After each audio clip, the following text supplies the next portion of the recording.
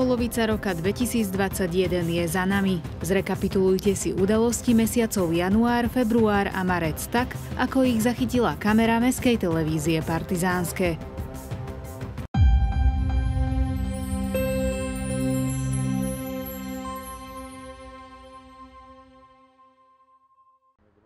Mesto Partizánske má prvú webkameru s priamým prenosom.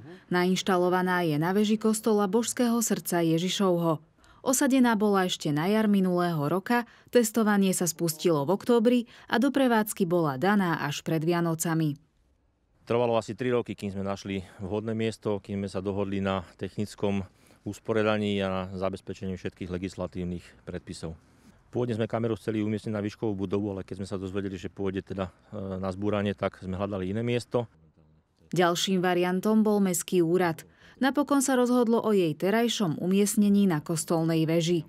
Jej pohľad tak smeruje na park Jana Antonína Baťu a námestie Slovenského národného povstania. V marci 2020, keď sa začali robiť online prenosy e, z kostola, z Vetých Omší, tak sme sa dohodli s pánom dekanom Farkašom, že kameru umiestnime na veži nášho kostola. Live kameru nájdete na webovej stránke www.partizánske.info v sekcii Infoservis. Okolie sníma bez prestávky. V súčasnosti kamera beží len ako videoprenos. Úmyselne kvôli legislatíve je nastavený taký prenos, aký je, jeden záber za sekundu. A tento záznam sa nikam neukladá. V blízkej budúcnosti je cieľom doplniť kameru o meteostanicu, ktorá bude zaznamenávať rôzne veličiny súvisiace s počasím.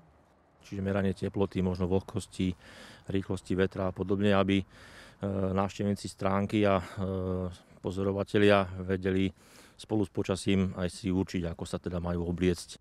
Už teraz sa plánuje aj inštalovanie ďalšej webkamery v meste. Lokalita na jej osadenie ešte nie je presne určená a jej výber si bude vyžadovať dôkladnú prípravu.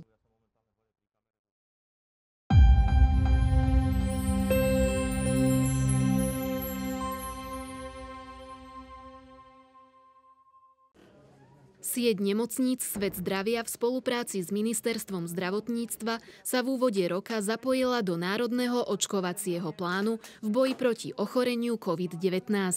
Dočkala sa aj nemocnica v Partizánskom, ktorá do tejto siete patrí. Vakcín nám prišlo 71 eh, ampuliek, balení a z každej dávky sa zaočkujú 5. Je to teda prvá dávka vakcíny, o 3 týždne by sa mali dať preočkovať druhou dávkou. Ako prvých zaočkovali zamestnancov nemocnice, zdravotných, ale aj nezdravotných pracovníkov. Očkovať sa mohli dať dobrovoľne chodia sem aj lekári, lekári aj sestry z terénu, z partizánskeho a teda okolia. Vyšli sme im v ústretí v tomto, že v podstate tiež sú v prvom kontakte, tak ako my v nemocnici. V areále nemocnici máme aj Alfa Medical Laboratorium, ktorý síce ako my patrí pod nemocnicu, ale sú to zamestnanci, ktorí pre nás vykonávajú služby, takže umožnili sme im testovanie, takisto očkovanie, e, takisto aj zamestnanci z Bebraunu, z dialýzy, dopravnej služby aj z našej lekárne. Pred očkovaním je potrebné vyplniť dotazník, ktorého cieľom je zistiť prípadné riziká podania vakcíny. Očkovací tým tvorili skúsení zdravotníci. Pracujem tu teda ja e, z infektologickej ambulancie so svojou sestričkou a teda máme dobrých pomocníkov v rámci administratívy, kolegyne, ktoré musia s pacientom spracovať tie úvodné e, informácie, čo sa týka anamnézy, nejakých so zameraním teda práve na tú alergickú anamnézu, aby sme vylúčili nejaké e, možné nežiaduce účinky, teda príhody, ktoré by mohli byť u tých alergikov. Medzi tie najčastejšie patria bolesť a začervenanie v oblasti vpichu vakcíny či zvýšená únava a bolesť hlavy. Ľudia sú informovaní, keď sa čokoľvek deje, tak sa majú ohlásiť tu v nemocnici a teda upozorňujeme, že aspoň tých 24 hodín aby boli trošku v kľudovom režime, nenamáhali sa. Práve zdravotníci sú tí, ktorí sa stretávajú s rizikami nebezpečného ochorenia najčastejšie. Očkovanie preto vnímajú ako najlepší spôsob zastavenia ďalšieho šírenia nákazy. Robím na takom oddelení, na klastri, a chodíme aj na COVID, kde vidím, ako tí pacienti trpia a čím všetkým si prechádzajú. A si myslím, že tá vakcína bude dobrá aj e, teda schopná zamediť tomu okoreniu. Verím vede a výskumu, tak prečo by som nedala? Ja som aj neuvažovala, že by som sa nedala. Nepatrím medzi konšpirátorov. Trošku strach som mala, ale vidím tých ľudí, uh, ak, akí tu prichádzajú a aké sú priebehy teda, tak uh, som sa rozhodla dať zaočkovať. Chcem v prvom rade chrániť seba, svoju rodinu a určite aj pacientov a zamestnancov, medzi ktorými sa pohybujem. Vedenie nemocnice predpokladá, že v blízkej budúcnosti sa v jej areáli vytvorí vakcinačné centrum. To bude určené pre očkovanie verejnosti.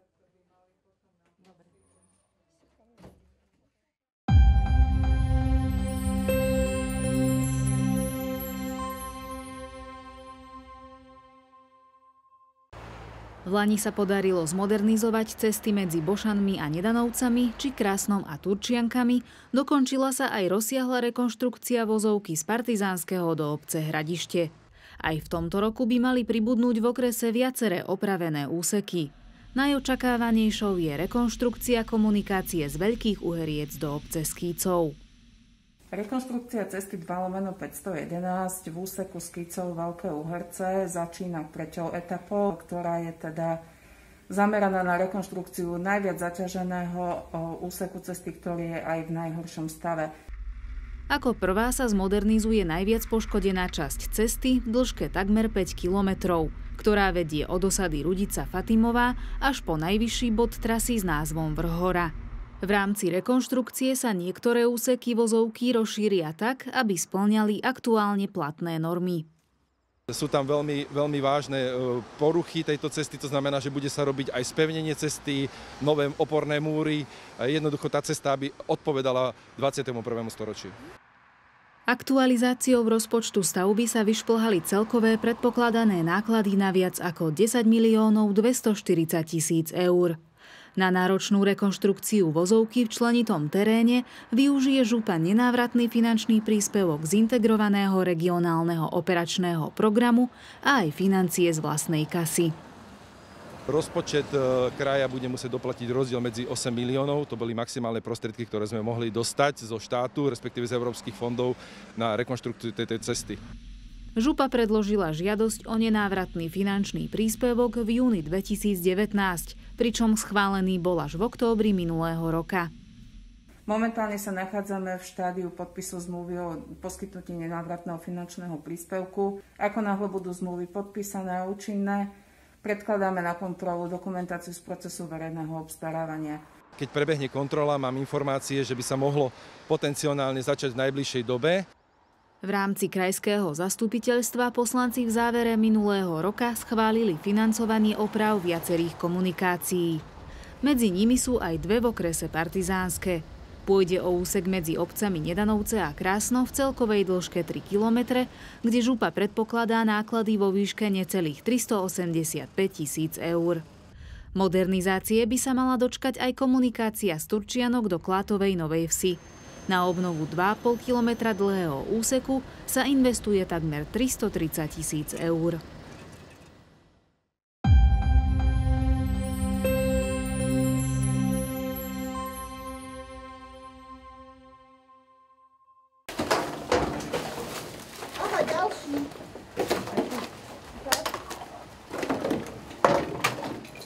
Obrovská nezodpovednosť. Jedine tak by sa dalo označiť konanie ľudí, ktorí sa rozhodli zbaviť použitých antigénových testov odhodením do plastového odpadu.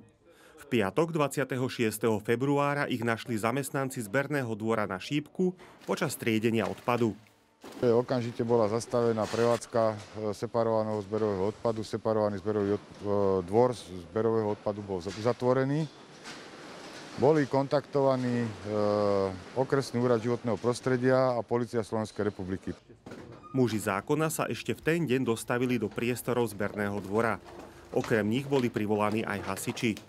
Zamestnanci museli urýchlene opustiť prevádzku. Situáciu bolo potrebné urgentne riešiť práve preto, aby nedošlo ohrozeniu života, zdravia zamestnancov technických služieb mesta. Policajný zbor Slovenskej republiky už rieši trestné oznámenie, pretože skutočne ten, kto sa takto zachoval, tak si neuvedomilo, že hazarduje so zdravím a životmi reálnych ľudí, ktorí pracujú na zbernom dvore. Samozrejme, že sa bojíme o svoje zdravie, ako každý. No je to vrcholne nezodpovedné, lebo my tu vlastne nevieme, čo nám príde a my sme to tie predtým otvorili, až sa nám to tu na nás vysypalo. Nie je to ohrozenie, lebo však každý má svoju rodinu.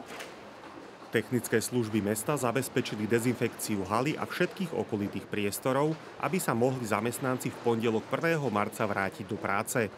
Tí však testy nachádzajú aj naďalej. Testy sú stále tu, lebo ešte nevieme, koľko v tomto odpade e, ich nájdeme. A keď už teda tento odpad bude vytriedený, tak antigénové testy budú likvidované organizáciou, ktorá na to opravnenie má. Samozpráva upozorňuje, že takéto konanie nie je akceptovateľné. Použité antigénové testy spadajú pod nebezpečný odpad a ten medzi plasty nepatrí. Verím tomu, že policia bude úspešná a vypatrá vinníka. Chcem upozorniť všetkých, ktorí dnes možno, že sa dostávajú do kontaktu s antigenovými testami, pretože pracujú pri testovaní, či už dobrovoľnom alebo pravidelne organizovanom súkromnými spoločnosťami. Je to výzva k tomu, aby sa vyvarovali takéhoto správania. Zberný dvor na Šípku je pre verejnosť opäť otvorený od stredy 3. marca.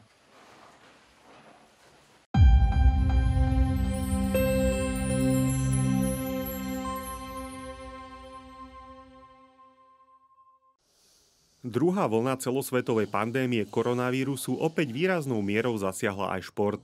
S novými obmedzeniami sa museli vysporiadať aj v karate klube Drap Partizánske. V súvislosti s protipandemickými opatreniami museli drapáci vymeniť telocvičňu za svoje obývačky a detské izby. V polovici októbra predošlého roku prepli vďaka aplikácii Zoom na online tréningový režim. Takže som si to vôbec nevedel predstaviť, že ako to bude fungovať. Vyšiel som s takými obavami do toho ale nakoniec sa mi to celé tak teraz, keď si tak spätne na to pozriem, osvedčilo v tom, že mám kontakt s deťmi, oni majú kontakt so mnou, je tam, je tam možnosť využívania toho tréningového procesu, procesu úplne v podstate pre mňa plnohodnotný. Aj keď začiatky adaptácie na zmenu situácie boli ťažké, teraz si tréner drapákov Peter Hnik pochvaľuje online formu tréningov. Ako alternatíva online tréning v dnešnej dobe super. Takto fungujeme aj v rámci svetových seminárov s našimi majstrami, ktorí takisto na to nenaskočili. Je tam veľká účasť na tých seminároch, ktoré bývajú raz za mesiac. Podľa toho buď to robí európsky seminár, e, európsky majstri alebo japonskí majstri. Proste, keď chce niekto cvičiť, ten spôsob si nájde vždy. A toto je podstatné. Pokiaľ sa chceme nejako udržať, musíme proste hľadať alternatívy. Pred pandémiou mal karate klub DRAP vyše stovky aktívnych členov. V súčasnosti ich trénuje sotva polovica. Páčia sa mi, ale lepšie je to v telocvični. Lebo mám kontakt s deťmi a je to lepšie. Pre mňa je to lepšie v telocvični. Lebo tam nás všetkých môže tréner vidieť. Vlastne myslím si, že Tieto tréningy sú super možnosť, ako aj v tejto náročnej situácii zostať v kondícii a v kontakte so športom, ktorý máme radi. Je to super, že sa môžeme navzájom aj motivovať. Formu dištančnej prípravy kvituje aj Juliet Slivková. Spolu s ďalšou slovenskou reprezentantkou Zuzanou Mišovýchovou bojujú o nomináciu na majstrovstva Európy v športovom karate kadetov a juniorov, ktorých dejiskom bude v auguste fínske Tampere. Ja si myslím, že tieto online tréningy sú dobré, pretože aspoň sa stále udržíme v kondícii, aj keď nemôžeme trénovať normálne. A jasne, že mi chýbajú normálne tréningy, to sa nedá len tak nahradiť, ale celkom pozitívne to vnímam. V dobe pandémie Slovenský zväz karate kompenzuje reálne športové turnaje videosúťažami. V nich rozhodcovská porota hodnotí techniku a nasadenie pretekárov na videonahrávkach. Športovom zápase kumite súťažiaci simulujú duel so súperom. Toho nahrádzajú dve tenisové loptičky zavesené pod sebou na zvislom lane alebo tyči. Tréner Peter Hnik si však uvedomuje deficit klasických súťaží. Súťaže chýbajú v maximálnej možnej miere, pretože trénovať, akože by som povedal, že na sucho trénovať je super. Je to pre dobrý pocit, pre uvoľnenie, pre odbúranie stresu, pre zvládnutie tejto situácie aj po psychickej strane, stránke, aj po fyzickej je super, ale, ale súťaž, pokiaľ chceme napredovať, ten kontakt tam musí byť. Na otázku, dokedy vydržia zotrvať v čase protipandemických reštrikcií v online režime, si však šéf drapákov netrúfa odpovedať. Ťažko povedať, je to o jednotlivcoch, je to o tom, kto ako je nastavený na to sa prispôsobovať takýmto podmienkam. Disciplína v prvom rade pri starších, disciplína pri mladších. Veľká vďaka rodičov, lebo bez nich by to nebolo možné a myslím si, že tí maličky by sa tak nedonútili, ale proste bez tých rodičov by to, bez tých rodičov by to asi nemohlo fungovať. Takisto ako aj škola.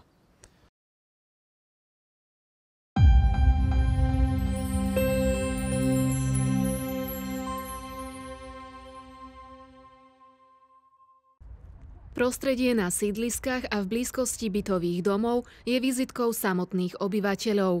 Mnohí z nich však často neberú ohľad na svoje okolie a povinnosti týkajúce sa poriadku končia za dverami ich bytu. Všetká starosť tak zostáva vysieť na pleciach tých, ktorým to nie je ľahostajné a aj mimo svojich príbytkov chcú žiť v peknom a najmä čistom prostredí.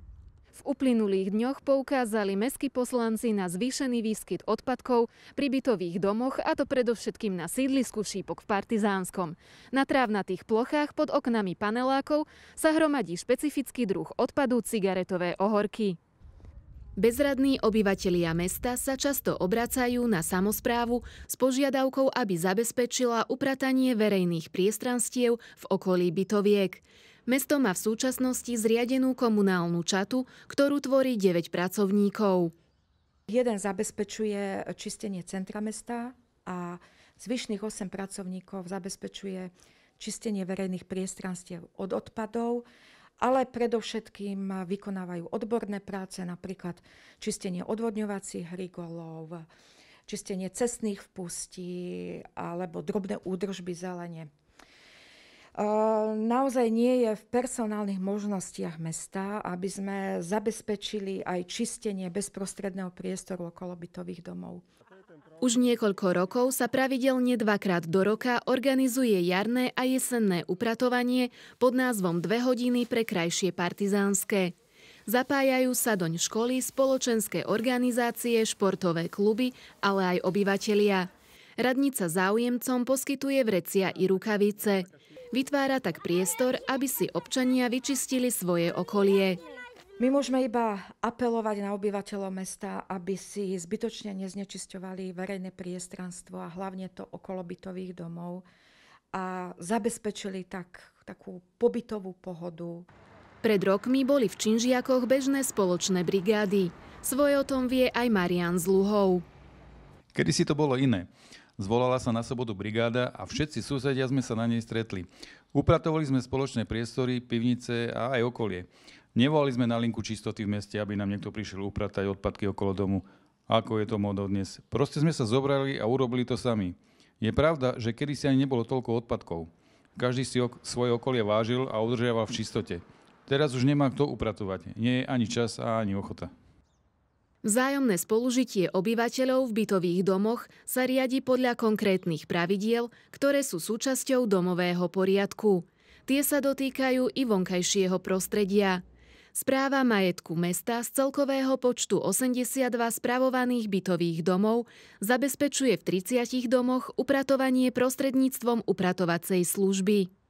Zabezpečuje to externá spoločnosť, ktorá upratuje nielen spoločné priestory v dome, ale teda aj v bezprostrednom okolí. Je to asi do 5 metrov od vchodu. Podobne je to i v domovom poriadku bytových domov pod správou stavebného bytového družstva. Obyvatelia sú povinní v rámci upratovania spoločných častí domu okrem iného čistiť aj prístupové chodníky. Približne 50% bytových domov v našej správe má upratovanie formou upratovacích služieb. Túto činnosť vlastníkom bytov vykonávajú štyri spoločnosti. ktoré majú uvedené v zmluve aj vyzbieranie odpadkov v okolí vchodu a zametanie schodiska a chodníka výhradne pred vstupom do vchodu. V roku 2020 sa novelizoval zákon o vlastníctve bytov a nebytových priestorov. Do tejto novely bola zahrnutá aj možnosť vlastníkov schváliť si domový poriadok. To môže pomôcť obyvateľom pri riešení problémov s neprispôsobivými užívateľmi.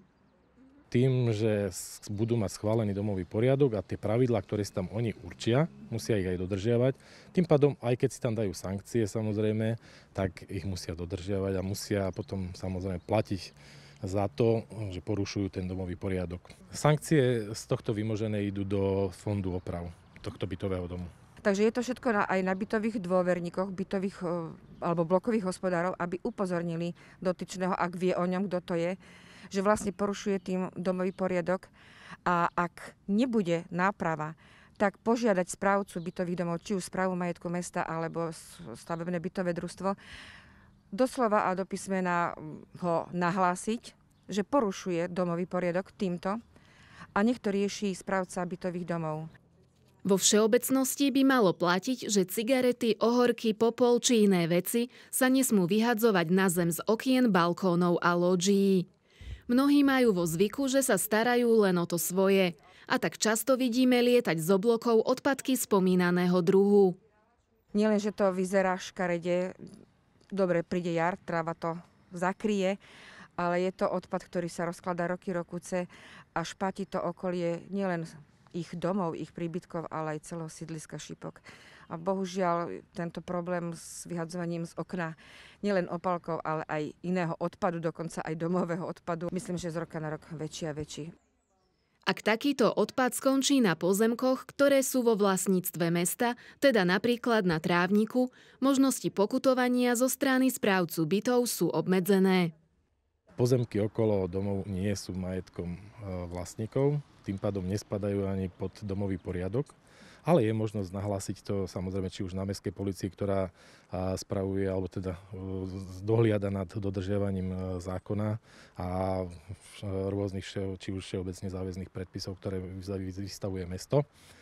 Takže na základe tohto môže či už mestská policia alebo štátna policia po nahlásení dať za takéto priestupok kvázi aj pokutu alebo sankciu. Ak raz nechceme žiť v krajine odpadkov, zlepšiť súčasný stav môže len zmena v správaní a konaní obyvateľov neohľadu plných voči životnému prostrediu.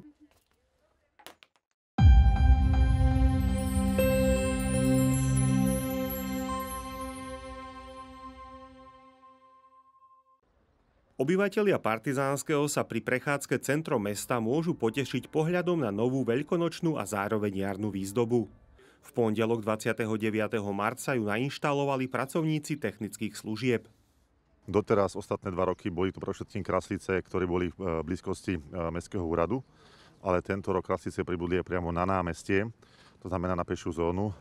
Okrem farebných kraslíc upúta najmä tých najmenších aj dekorácia v podobe veľkonočného zajačika. Aj keď si uvedomujem, že Veľká noc je predovšetkým sviatok, ktorý má obrovský duchovný rozmer, a e, posilňuje v ľuďoch vieru víťazstva života nad smrťou, tak treba povedať, že má svoj aj taký rozmer spoločensko-tradicionalistický vo väzbe na Sviatky jary, vo väzbe na začiatok života, ktorý symbolizuje buď kráslica, respektíve vajíčko, alebo zajačik. Osadené boli aj ďalšie nové prvky, a to dva veľké kvetináče, ktoré boli vysadené živými jarnými kvetmi. Cieľom je, aby sme aj touto formou spríjemnili atmosféru na námestí, kde ku kvetinám, ktoré sú vysadené v rámci výzdoby mesta Partizánske v Trávniku, pribudnú aj dva veľmi pekné kvetináče s kvetmi a zároveň aj veľký kvetinový stojan. Ten bude čoskoro umiestnený v blízkosti erbu mesta pri fontáne. Nová výzdoba už stihla zaujať okoloidúcich rodičov s deťmi natoľko, že sa pri nej zastavovali i fotili. Finančné prostriedky, ktoré sa použili na zakúpenie zajaca, sú prostriedky, ktorých 20% išli z ušetrených peňazí na mojej mzde. Zvyšok zaplatil sponzor. V prípade kraslíc ide o zdroje, ktoré boli ušetrené minulý rok v rámci rozpočtu, nakoľko sa mi podalo získať zdroje e, sponzorské pre podporu športu a kultúry. V rámci blížiacej sa Veľkej noci si primátor pripravil milé prekvapenie pre deti v materských školách. Tie obdaroval čokoládovou figúrkou. V tomto roku som sa rozhodol, že zakúpim ja ako človek 650 čokoládových zajačíkov a rozdáme ich všetkým škôlkárom, ktoré sú na území mesta. Všetci škôlkári dostanú sladkého zajačíka ako symbol veľkonočných sviatkov, ktoré želám deťom, ale ich rodičom a starým rodičom, aby prežili v pokoji, v pohode, v kruhu svojich najbližších a aby boli naplnené láskou, porozumením a Božím požehnaním.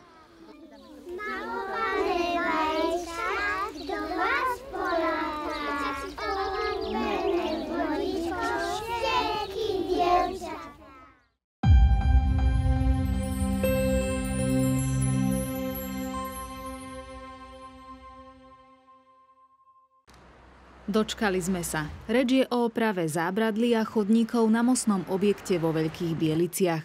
Za most, zábradlie i chodníky na vyťaženom úseku cesty 1 lomené 64 nezodpovedá samozpráva, ale štát, a teda Slovenská správa ciest a investičná výstavba a správa ciest Žilina.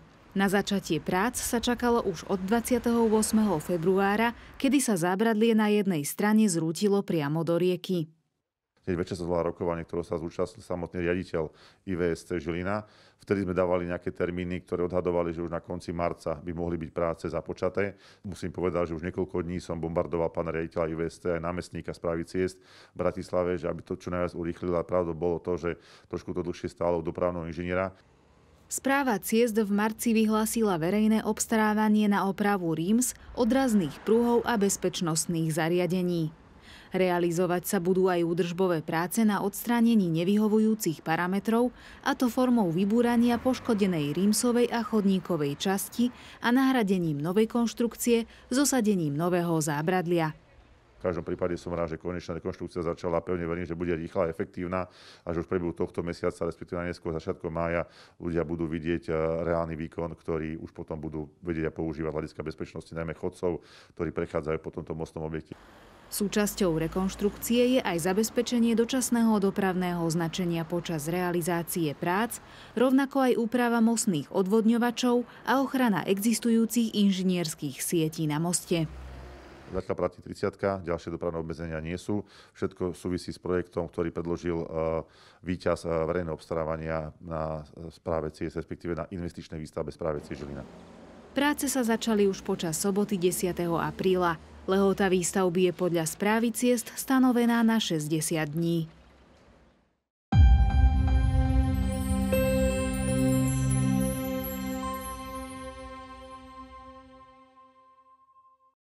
V útorok 23. marca sa v Partizánskom, ako aj v iných obciach okresu uskutočnila policajná razia, ktorej výsledkom bolo zatknutie viacerých podozrivých. Podľa televízie JOJ zásah kukláčov súvisel s pytliactvom a nedovoleným ozbrojovaním. Kriminalisti z Trenčina zasahovali na sídlisku Šípok, kde aj došlo k zadržaniu jednej osoby. Policajti odboru kriminálnej policie Krajského riaditeľstva policajného zboru v Trenčíne vykonávajú v okrese Partizánske viaceré úkony trestného konania. Bližšie informácie poskytneme, až keď to dôkazná situácia dovolí. Byt na prvom poschodí, pivnicu, ako aj auto zadržaného prezreli kriminalisti s policajným psom. Podľa našich informácií kukláči objavili aj safe, otvoriť sa im ho však podarilo až po príchode špecialistu. Ide o byt, v ktorom už policajti v roku 2015 zasahovali. Vtedy v ňom došlo k silnému výbuchu, tlaková vlna poškodila balkonové okná a žalúzie. K zraneniu osôb našťastie nedošlo. Doposiaľ neznámy páchateľ prišiel dňa 22. júna pred 3 hodinou ráno v meste Partizánsk na ulicu Malinovského k Čížovému domu, pričom nezisteným spôsobom umiestnil na práve nadzemné podlažie na balkón bytu doposiaľ neidentifikovaný nástražný výbušný systém. Kukláči v útorok zasahovali aj priamo v centre mesta. Podľa televízie JOJ podozrivého muža zadržali v blízkosti sídla obvodného oddelenia a jeho auto podrobili prehliadke, pričom mali objaviť väčší obnos peňazí. Súbežne prebiehala policajná akcia v obci Žabokreky nad Nitrou, kde polícia zatkla ďalšieho podozrivého a údajne našla náboje a meso. Podľa našich informácií kukláči zasahovali tiež vo Veľkých Uherciach v chatovej oblasti Poždol. Tu mali kriminalisti dokonca v rámci prehliadky prekopávať pozemok.